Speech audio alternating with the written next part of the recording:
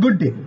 I welcome you all at the lecture on basics of construction management and contract management under the subject Introduction to Civil Engineering as suggested by Maulana Abul Kalam Azad, University of Technology and the related subject code is CEHS 302 and the model number is 6. Myself Sandipan Shaha, Assistant Professor for the Department of Civil Engineering of Greater Kolkata College of Engineering and Management under JIS Group. In this first part of the lecture, let us first have a look on the topics that we are going to cover in this lecture. And the topics are an introduction to the construction industry in India. The second topic is basic concept of construction management. Topic number three is concept and application of temporary structure. And the topic number four is idea of various construction methods. And the topic number five is importance of construction technology. And the topic number six is fundamentals of contract management. Now, let us proceed to the lecture. Construction is an important sector that contributes greatly in the economic growth of a nation. The construction industry is an investment-led sector where government shows high interest. The construction industry of India is an important indicator of the development as it creates investment opportunities across various related sectors. The construction sector is visualized to play a powerful role in the economic growth in addition to producing structures that adds to productivity of quality and quality of life. In India, the construction industry contributes 55% share in the steel industry, 15% in the paint industry and 30% in the glass industry.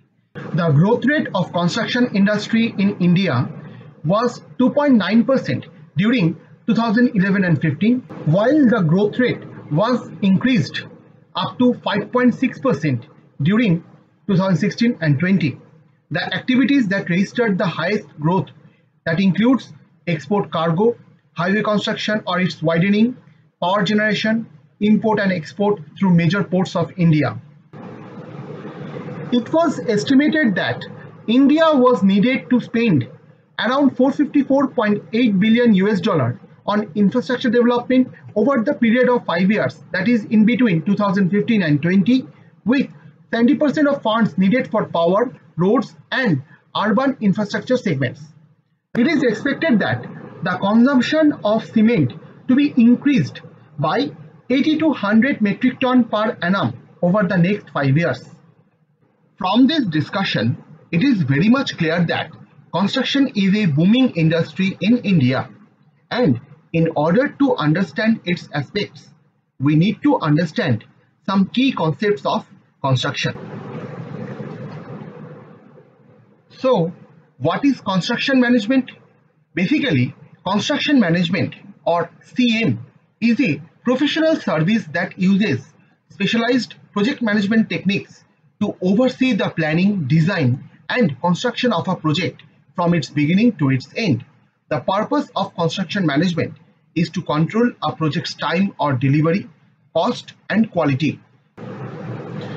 And these three aspects of construction management that is time or delivery, cost and quality often referred as project management triangle or triple constraints.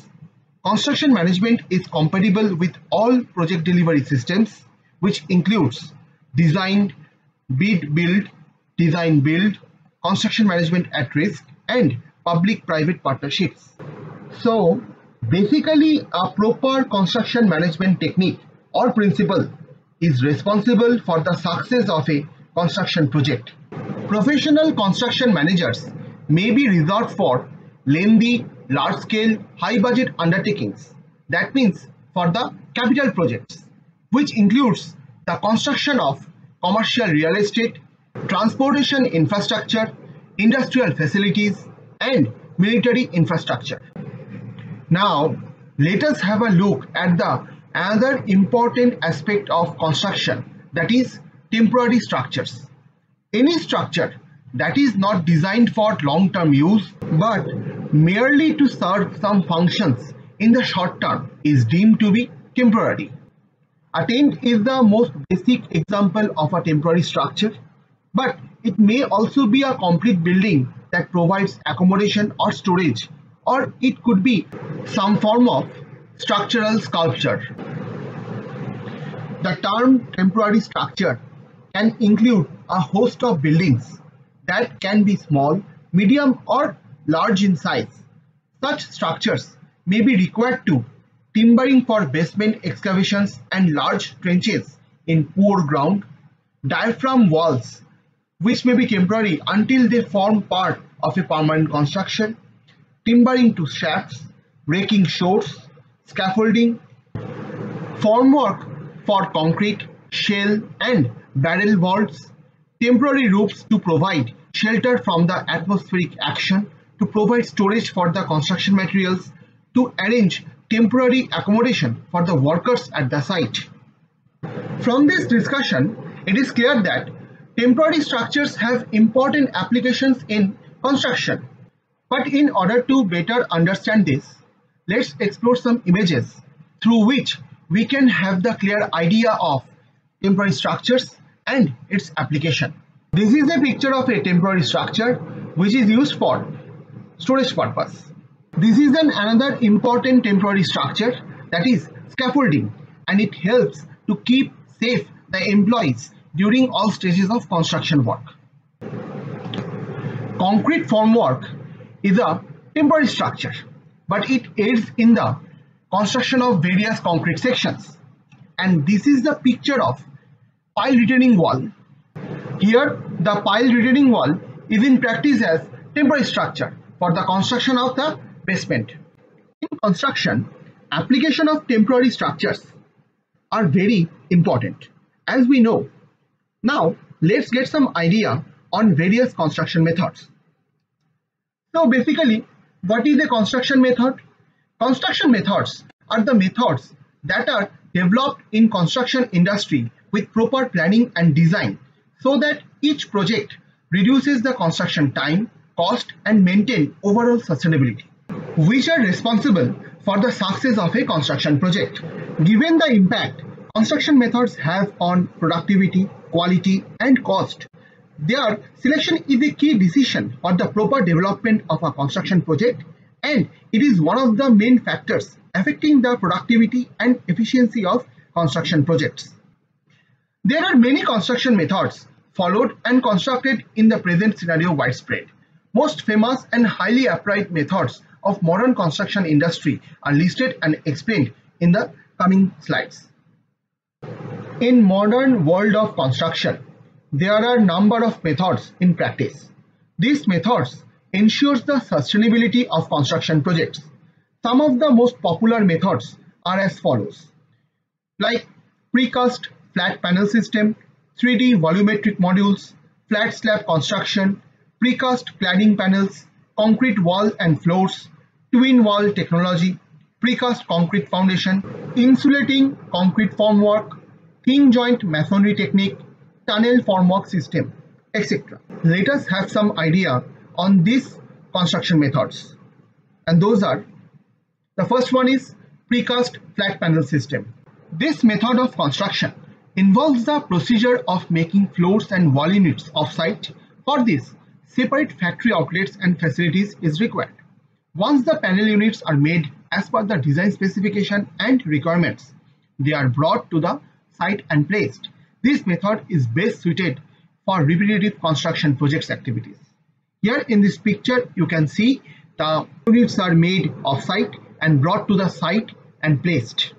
Once all the building units are fitted all together, this is how it looks. From this picture, you can see this. The panels manufactured has the services of windows, doors and the finishes. This method also brings building envelope panels which are provided with insulation and decorative cladding that is fitted by the factory which can also be used as the load bearing elements. From these pictures you can see that all the building units are placed together using cranes. Here you can see the use of cranes. The next important type of construction method is 3D volumetric construction method. As the name implies, The 3D volumetric construction method involves the manufacture of 3D units in the form of modules in offsite. At the time of installation, they are brought to the site and assembled module by module.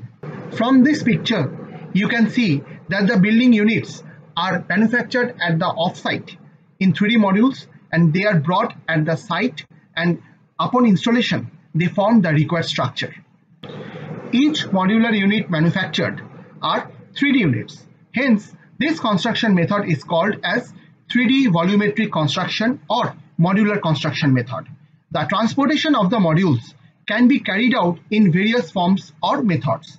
This can involve the transportation of the basic structure or a completed unit with all the internal and external finishes, services installed within it, that the only part remaining is the assembly of the 3D modular units. The factory construction brings defined unit of same product maintaining their quality throughout. Hence, this method is best suited for the repetitive projects so that rapid assembly of the products is possible. The next important type of construction method is the flat slab construction method. The flat slabs are structural elements that are highly versatile in nature. This is this versatility that it is used widely in construction. The flat slab provides minimum depth and faster construction. The system also provides column grids that are flexible. Here you can see these are column grids that we are talking about. Wherever it is necessary to seal the partitions to the slab soffit as a reason of acoustic and fire concerns, the flat slabs are a desirable solution. When compared with other forms of construction, the flat slabs are faster and more economic in nature. The construction of flat slabs can be completed with good surface finish for the soffit. This enables to utilize the exposed soffits. The flat slab construction is also a means of increasing the energy efficiency as this allows the exploitation of building thermal mass in the design of ventilation, heating and the cooling requirements. The next important type of construction method is precast cladding panels. The cladding system is the installation of a material over another that finally act as a skin or a layer. This system of layer is not only intended for aesthetics, but it can help in controlling the infiltration of the weather elements. No kind of waterproof condition is provided by the cladding. Instead, the cladding is a control measure against water penetration. This safely helps in directing the water or the wind so that there is control of the runoff. This helps to prevent the infiltration into the building structure. From this picture, you can see and you can have the idea of precast cladding panels and this is a picture of the cross section of precast cladding panels where you can see the details and components of a precast cladding panels.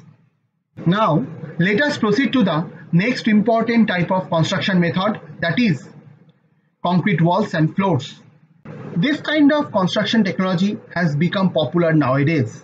Concrete walls are mainly applied for seat walls, retaining wall, decorative exterior and interior finishes. The concrete is also used as a flooring material. As per the latest technology, the concrete floors can be provided with good finish to provide smooth and attractive flooring. When compared with any other material, the concrete floors provide a wide variety of material for applications like acid stained paint, radiant floors, overlays and micro toppings. The concrete flooring can also be called as cement flooring. When compared with other flooring types, concrete flooring is affordable and maintenance is easy. Proper sealing of concrete flooring can be cleaned by a dust mop. The next important type of construction technology is twin wall technology. The twin wall technology is a hybrid solution of the wall system that combines the qualities of erection speed and precast concrete with the structural integrity of in situ concrete. This type of wall system guarantees structural integrity and waterproof reliability for the structure. From this picture, you can have the idea of the concept of twin wall technology as here two different separated walls are connected together to form an integrated unit. The twin wall system has two wall slabs that are separated as shown in the figure. From here you can see that the two walls are separated The two slabs are separated by a cast-in lattice girders. The procedure involves first the wall units are placed in the site, then the twin units are propped temporarily. Then after, the wall units are later joined by means of reinforcing. And lastly, the gap between the wall units are filled by means of concrete. This system of construction is faster than normal construction methods and this is economical. The twin wall system is mainly employed in association with the construction of precast floors. The next important type of construction method is construction of precast concrete foundations. For the rapid construction of foundation, the precast concrete system can be employed. This method is more suited for a bespoke design. Here, the elements required for the construction of foundation are constructed separately in the factory that is off-site and brought to the site and assembled. The manufactured product must have the assured quality as specified by the engineer or the designer. The foundation assembled is mainly supported by concrete piles. During assembling, both the systems are connected together. This foundation system helps in increasing the productivity, increase quality and decrease the soil excavation quantity. This is best suited for extreme and adverse weather conditions. When the construction is dealt on a highly contaminated ground, this system of construction is the best choice. From this picture, you can see that the construction process of precast concrete foundation is ongoing. Now, let us proceed to the next important type of construction method that is insulating concrete formwork. The system of insulating concrete formwork that is ICF has the twin walled panels that are either polystyrene panels or blocks which are employed together. These are built quickly to create the formwork as the wall of the buildings. The formwork that is made is filled with the concrete. This concrete is factory produced that have quality assurance so that a ready mix concrete. Mostly the mix is ready mix concrete. The main advantage of this kind of construction method is that higher level of thermal insulation is provided by expanded polystyrene blocks. The concrete core will provide good robustness and better sound insulation. From this picture, you can see that the construction process of insulating concrete formwork is ongoing. And concrete, normally the ready-mix concrete is poured inside these two panels as you can see in this picture.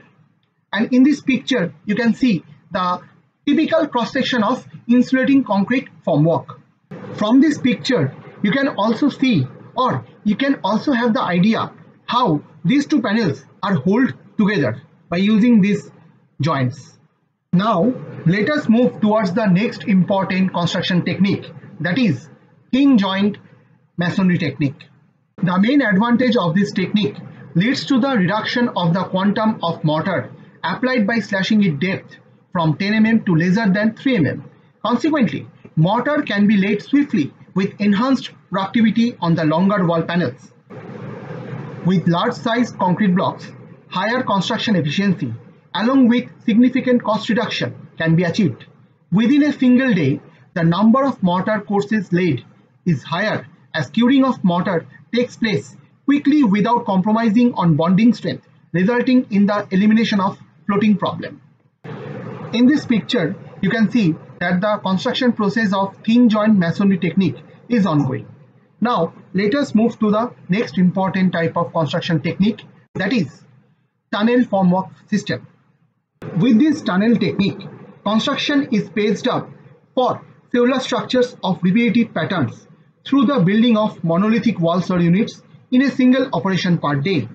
Expeditious work is achieved by deploying formwork and readily mixed concrete with the convenience and agility of factory conditions. Formworks in tunnel form are stacked and used at the site with cranes. From this picture, you can see that the construction process of cellular structured building is ongoing using the tunnel formwork system. It is no secret that technology is constantly evolving and rapidly changing the landscape of many different industries. This ranges from increasing the efficiency of day-to-day -day operations to manufacturing new and advanced high-tech products. Typically, it's the companies that have the ability to adapt and embrace technological change that ultimately survive the competitive business climate. Historically, the overall construction industry has been slow to integrate change into their business models. However, early adopters understand the benefits of embracing new technological advancements as they look to gain an edge on their competition. In order to compete, companies should look to shift towards the technology that can be a strategic long-term asset. From this discussion, it is very much clear that application of a proper construction technology is very much important for the sustainability and success of a project. In this regard, contract management plays an important role. Basically, the contract management process is the interaction between the vendor and the purchaser that ensures that both parties meet their respective obligations in any procurement relationship. The aim is to meet the operational, functional and business objectives required by the contract and provide a profitable interaction. The main disadvantage of a contract management is that when a contract is phrased poorly, one organization might lose countless thousands of dollars over a simple technicality they lacked the resources to identify. Effective contract management can ultimately create a powerful business relationship and pave the road to greater profitability over the long term, but only when managed correctly. It's a good idea to include a legal department or a lawyer in contract management discussions. The precise wording of contracts is very much crucial to the success of the contract management. In this first part of the lecture, we have covered certain aspects of construction engineering. In our next lecture, we will cover some more topics on the construction management and engineering. Thank you.